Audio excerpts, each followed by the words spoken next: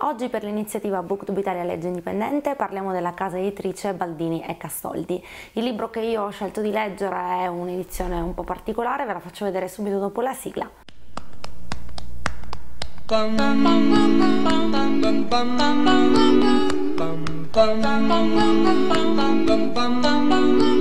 Mr. Sandman,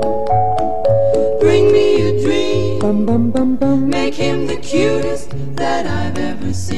bam bam Ciao ragazzi e ben trovati sul canale o benvenuti se è la prima volta che venite. Io sono Martina, questo è un progetto ideato dal canale di Eleonora Forno, Mister Tortellino, io aderisco dall'inizio del progetto, ogni mese scopriamo una casa editrice del panorama indipendente italiano. E meno male che ci sono progetti del genere perché ci sono veramente tante realtà editoriali che passano spesso in secondo piano perché non hanno le possibilità di sostenere la giusta reclama per poter stare al passo con i grandi gruppi editoriali editoriali. Quindi questa iniziativa vuole essere un modo anche per condividere con chi guarda il mondo, il panorama editoriale che tante volte passa un po' inosservato, non si conosce molto bene. La casa editrice di questo mese è Baldini e Castoldi. Io vi dico che mh, credo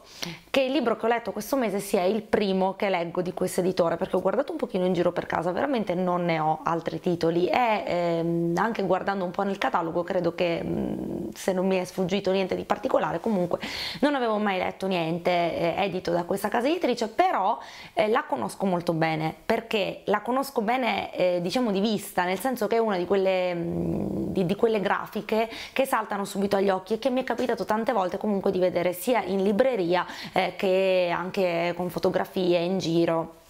E ho visto, ho avuto modo di vedere sul catalogo, sul catalogo online hanno tantissime collane, ecco questa è stata una scoperta che ho fatto, eh, c'è una collana di classici, una collana dedicata ai saggi, mm, una collana dedicata anche ai fumetti, pubblicano i Peanuts, ci sono anche tantissimi romanzi, quindi un grande spazio lasciato alla narrativa generale. E poi c'è una collana un po' particolare che si chiama La tartaruga. E il libro che io ho scelto di leggere appartiene a questa collana settimana.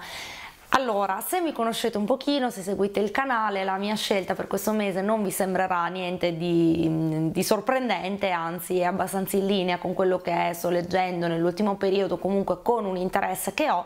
ed è l'interesse per Fitzgerald e la coppia in particolar modo eh, Scott e Zelda Fitzgerald vi ho, vi ho, parlato in precedenza anche di altre letture che ho fatto uh, sull'argomento, quindi sia biografie che biografie a fumetti che romanzi veri e propri dell'autore.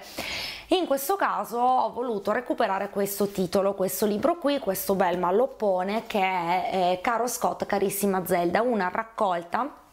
di lettere selezionate ma mm, una raccolta comunque molto corposa delle lettere che i coniugi si sono scambiati nel corso della vita dal periodo del fidanzamento quindi i primissimi anni quando ancora appunto mm, Fitzgerald non aveva pubblicato niente di consistente quindi prima di Al di qua del paradiso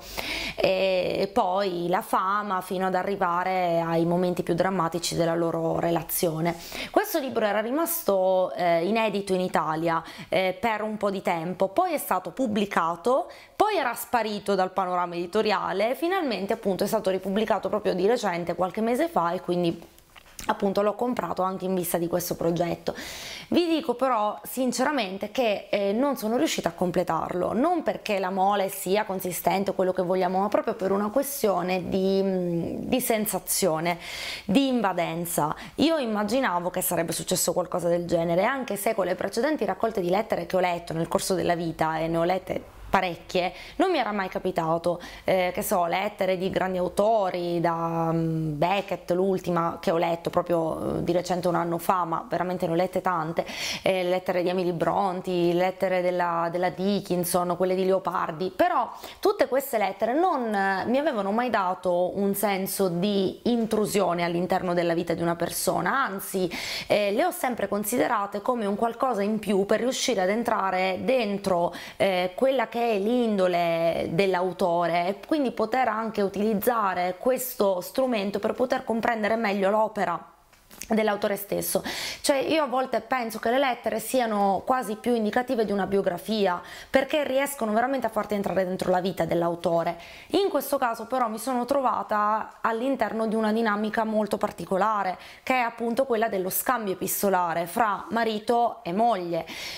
e entrare all'interno di questa dinamica ad un certo punto mi ha quasi fatto sentire in imbarazzo, come se questo loro mondo privato, che privato in realtà non lo è stato mai nella loro vita, però in qualche modo attraverso questo, questo divulgare la loro vita intima diventasse ancora più violato, anche perché se nella prima parte del, di questa raccolta, che è molto ben curata, eh, eh, se nella prima parte appunto queste lettere sono molto tenere, tenere